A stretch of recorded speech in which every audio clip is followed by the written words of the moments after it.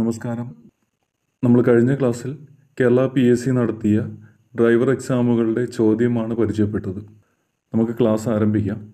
ഓടിക്കാത്ത വാഹനത്തിന് നികുതി ഒഴിവാക്കാൻ നൽകേണ്ട ഫോം ഓടിക്കാത്ത വാഹനത്തിന് നികുതി ഒഴിവാക്കാൻ നൽകേണ്ട form form G G form എന്ന് നമ്മൾ കോമൺ ആയിട്ട് പറയാറുണ്ട്. ജി ഫോം ജി ഫോം നൽകുന്നത് ഓടിക്കാത്ത വാഹനങ്ങൾ. വാഹനം ഓടിക്കുന്നില്ല. വാഹനം നിരത്തിലിറക്കുന്നില്ല എന്ന് കാണിക്കാൻ വേണ്ടിയിട്ട് നൽകുന്ന ഒരു ഫോമാണ് ജി ഫോം. ഈ ഫോം വാഹനങ്ങൾ രജിസ്റ്റർ ചെയ്തിട്ടുള്ള അതാത് ആർ ടി ഒയിൽ ഈ ഫോം സമർപ്പിച്ചു കഴിഞ്ഞാൽ വാഹനത്തിന് കൊടുക്കേണ്ട നികുതി ഒഴിവാക്കി കിട്ടും.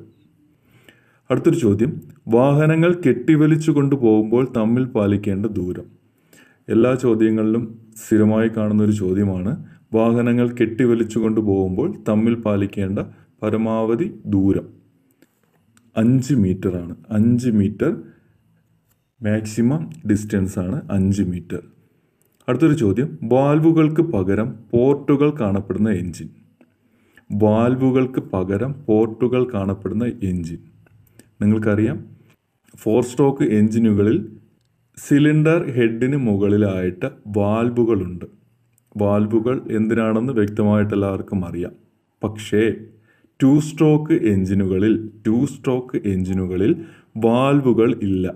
പകരം പോർട്ടുകളാണ് സ്ഥിരമായി ഓപ്പണായി ഇരിക്കുന്ന പോർട്ടുകൾ വാൽവുകൾ എന്ന് പറയുമ്പോൾ അത് പ്രത്യേക സാഹചര്യത്തിൽ തുറക്കുകയും അടയുകയും ചെയ്യുന്നു. അതാണ് വാൽവുകൾ എന്നാൽ ടു സ്ട്രോക്ക് എഞ്ചിനുകളിൽ പോർട്ടുകളാണ് ടു സ്ട്രോക്ക് എഞ്ചിനുകളിൽ കാണുന്ന മൂന്ന് പോർട്ടുകൾ inlet port exhaust port transfer port ഈ മൂന്ന് പോർട്ടുകളാണ് ടു സ്ട്രോക്ക് എഞ്ചിനുകളിൽ കാണുന്നത്.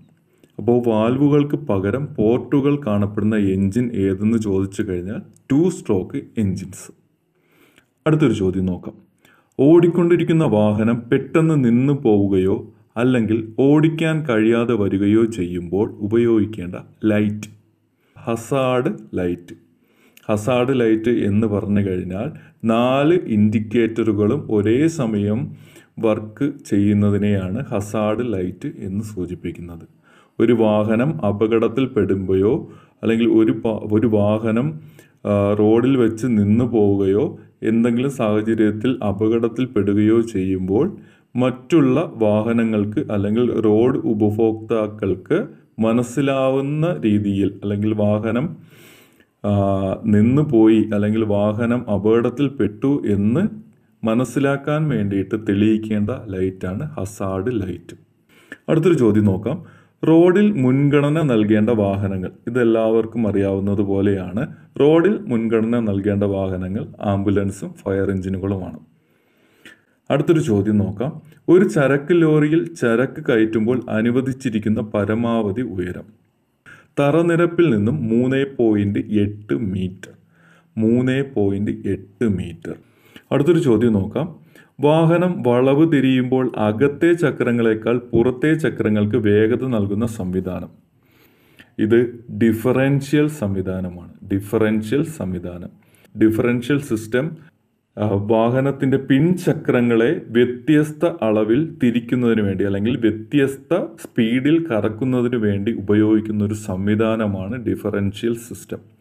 ഈ ഡിഫറൻഷ്യൽ സിസ്റ്റമാണ് വാഹനം വളവ് തിരിയുമ്പോൾ അകത്തെ ചക്രങ്ങളെക്കാൾ പുറത്തെ ചക്രങ്ങൾക്ക് വേഗത നൽകാൻ അല്ലെങ്കിൽ കൂടുതൽ വേഗത നൽകാൻ സഹായിക്കുന്നത്. അടുത്തൊരു ചോദ്യം. ഒരു four stroke engine crank shaft അറുന്നൂറ് ആർ പി എമ്മിൽ കറങ്ങുന്നു എങ്കിൽ പവർ സ്ട്രോക്കിന്റെ എണ്ണം എത്ര?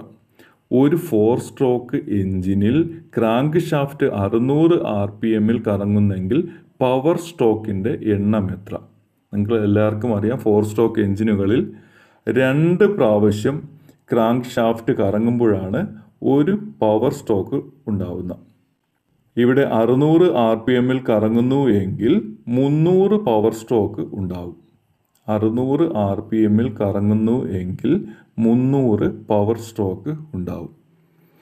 അടുത്തൊരു ചോദ്യം നോക്കാം. റിയർ വ്യൂ മിററായി ഉപയോഗിക്കുന്ന മിറർ ഏത്? മിക്കവാറും കോമൺ ആയിട്ട് ഉപയോഗിക്കുന്ന രണ്ട് ടൈപ്പ് മിററാണ് കോൺ കേവ് മിററും കോൺവെക്സ് മിററും കോൺ കോൺവെക്സ് മിററുകൾ നമ്മൾ മുഖം നോക്കുകയാണെങ്കിൽ മുഖം വലുതായി കാണാൻ പറ്റും. വലിപ്പം കൂടിയതായിട്ട് കാണാൻ കാണാൻ സാധിക്കും അടുത്ത് നിന്ന് നോക്കുമ്പോൾ. അപ്പോൾ നമ്മുടെ വാഹനങ്ങളിലും ഉപയോഗിക്കുന്നത് കോൺവെക്സ് മിററാണ് കോൺവെക്സ് മിററാണ് റിയർ വ്യൂ മിററുകളായി വാഹനങ്ങളിൽ ഉപയോഗിക്കുന്നത്. തെറ്റിപ്പോകരുത്. കോൺവെക്സ് മിററാണ് റിയർ വ്യൂ മിററായി വാഹനങ്ങളിൽ ഉപയോഗിക്കുന്നത്. അടുത്തൊരു ചോദ്യം നോക്കാം. ഫോർ സ്ട്രോക്ക് എഞ്ചിനുകളിൽ ക്യാം ഷാഫ്റ്റ് കറങ്ങുന്നത് ക്രാങ്ക് ഷാഫ്റ്റിന്റെ എത്ര വേഗതയിലാണ്?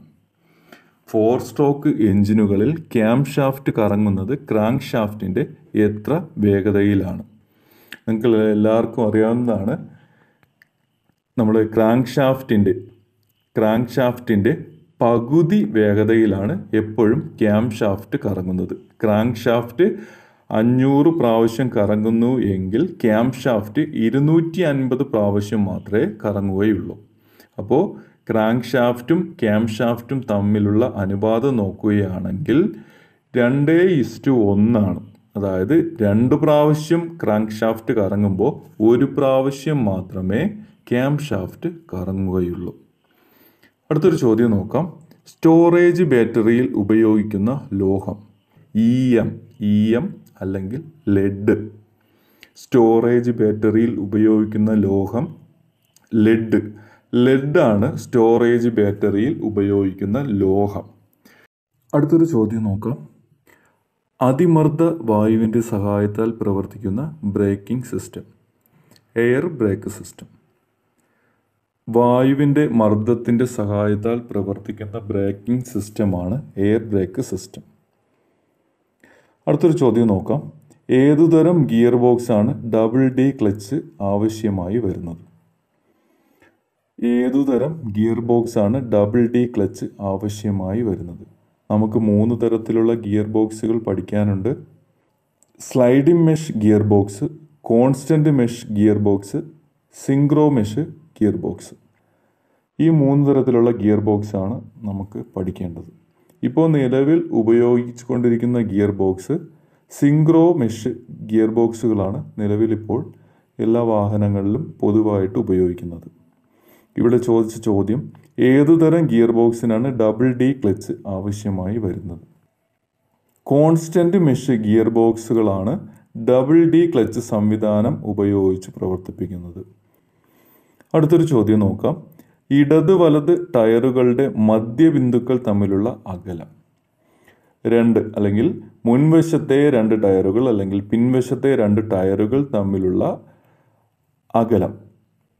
മുൻവശത്തെ രണ്ട് ടയറുകൾ തമ്മിലുള്ള അകലം. അതിന് പറയുന്നത് വീൽ ട്രാക്ക് എന്നാണ്. Wheel track. വീൽ ട്രാക്ക് എന്നാണ് ഇടത് വലത് ടയറുകളുടെ മധ്യബിന്ദുക്കൾ തമ്മിലുള്ള അകലം പറയുന്നത്. അപ്പോൾ എന്താണ് വീൽ ബേസ്? വീൽ ബേസ് എന്നത് മുൻ പിൻ ചക്രങ്ങളുടെ മധ്യബിന്ദുക്കൾ തമ്മിലുള്ള അകലമാണ് വീൽ ബേസ്. അപ്പോൾ വീൽ ബേസ് എന്താണ്? മുൻ പിൻ ചക്രങ്ങളുടെ മധ്യബിന്ദുക്കൾ തമ്മിലുള്ള അകലമാണ് വീൽ ബേസ്. വീൽ ട്രാക്ക് മുൻപിലത്തെയോ പിൻപിലത്തെയോ രണ്ട് ടയറുകൾ അതായത് മുൻപിലത്തെ ഇടതുവശത്തെ ടയറും വലതുവശത്തെ ടയറും തമ്മിലുള്ള അകലമാണ് വീൽ ട്രാക്ക്. മുൻവശത്തെ ടയറും പിൻവശത്തെ ടയറും തമ്മിലുള്ള അകലമാണ് വീൽ ബേസ്. അടുത്തൊരു ചോദ്യം. ബാറ്ററിയിൽ ഇലക്ട്രോലൈറ്റായി ഉപയോഗിക്കുന്നത് എന്ത്? നേർപ്പിച്ച സൾഫ്യൂരിക് ആസിഡ്. വാഹനം ഓടിക്കുമ്പോൾ നിർബന്ധമായും പാലിക്കേണ്ട ചിഹ്നങ്ങൾ. മാൻഡേറ്ററി ചിഹ്നങ്ങൾ. മാൻഡേറ്ററി ചിഹ്നങ്ങൾ. അടുത്തൊരു ചോദ്യം നോക്കാം. പിസ്റ്റൺ ടി ഡി സിയിൽ എത്തിയതിന് ശേഷവും സിലിണ്ടർ ഹെഡുമായുള്ള വ്യക്തം.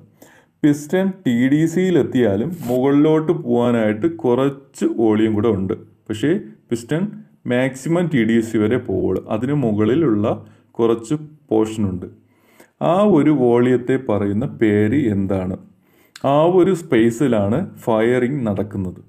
അതായത് സിലിണ്ടർ ഹെഡിന്റെ ഉള്ളിലെ ടി ഡി സിക്ക് മുകളിൽ അതായത് പിസ്റ്റൺ ടി ഡി സി വരെ സഞ്ചരിച്ചു കഴിഞ്ഞാലും മുകളിൽ കുറച്ച് സ്പേസ് ഉണ്ടാവും. ആ ഒരു സ്പേസിലാണ് ഫയറിംഗ് നടക്കുന്നത്. ആ ഒരു സ്പേസിന് പറയുന്ന പേര് ക്ലിയറൻസ് വോളിയം എന്നാണ്. Clearance volume. അപ്പോൾ എന്താണ് swept volume piston B D സിന്ന് ടി ഡി സി വരെ സഞ്ചരിക്കുന്ന വോളിയം. ടോട്ടൽ വോളിയം എന്തെന്ന് വെച്ചാൽ ക്ലിയറൻസ് വോളിയവും സെപ്റ്റ് വോളിയവും തമ്മിലുള്ള തുകയാണ് ടോട്ടൽ വോളിയം. അടുത്തൊരു ചോദ്യം നോക്കാം. ഒരു ഫോർ സ്ട്രോക്ക് എഞ്ചിനിൽ എത്രാമത്തെ സ്ട്രോക്കിലാണ് പവർ ഉൽപ്പാദിപ്പിക്കുന്നത്? പവർ ഉൽപ്പാദിക്കുന്ന സ്ട്രോക്ക് അല്ലെങ്കിൽ പവർ സ്ട്രോക്ക് എന്നറിയപ്പെടുന്നത് മൂന്നാമത്തെ സ്ട്രോക്കാണ് മൂന്നാമത്തെ സ്ട്രോക്കാണ് പവർ സ്ട്രോക്ക് അടുത്തൊരു ചോദ്യം നോക്കാം. നിരോധിച്ചിട്ടുള്ള ഹോൺ നിരോധിച്ചിട്ടുള്ള ഹോൺ എയർ ഹോൺ ആണ്. എയർ ഹോൺ നിരോധിക്കാനുള്ള കാരണം അതിന്റെ ശബ്ദ തീവ്രത കൂടുതലായതുകൊണ്ടാണ്. അടുത്തൊരു ചോദ്യം നോക്കാം. സ്റ്റെബിലൈസർ ബാർ എന്ത് സിസ്റ്റത്തിന്റെ ഭാഗമാണ്? ഉത്തരം സസ്പെൻഷൻ സിസ്റ്റം. വലിയ വാഹനത്തിന്റെയൊക്കെ സസ്പെൻഷൻ ശ്രദ്ധിച്ചു കഴിഞ്ഞാൽ സ്റ്റെബിലൈസർ ബാർ നമുക്ക് കാണാവുന്നതാണ്. അടുത്തൊരു ചോദ്യം. ഡീസൽ എഞ്ചിനകത്തേക്ക് വായു പ്രവേശിക്കുന്നത് ഏത് വഴിയാണ്? ഡീസൽ എഞ്ചിനകത്തേക്ക് വായു പ്രവേശിക്കുന്നത് ഏത് വഴിയാണ്? സിമ്പിളായും എല്ലാവർക്കും അറിയാവുന്ന കാര്യമാണ്. ഇൻലെറ്റ് വാൽവിലൂടെയാണ് ഡീസൽ എഞ്ചിനകത്തേക്ക് വായു പ്രവേശിക്കുന്നത്. ഇൻലെറ്റ് വാൽവ് വഴിയാണ് ഡീസൽ എഞ്ചിനകത്തേക്ക് വായു പ്രവേശിക്കുന്നത്.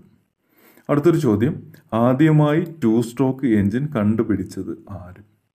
ആദ്യമായി ടു സ്ട്രോക്ക് എഞ്ചിൻ കണ്ടുപിടിച്ചത് ഡുഗാൾഡ് ക്ലർക്ക.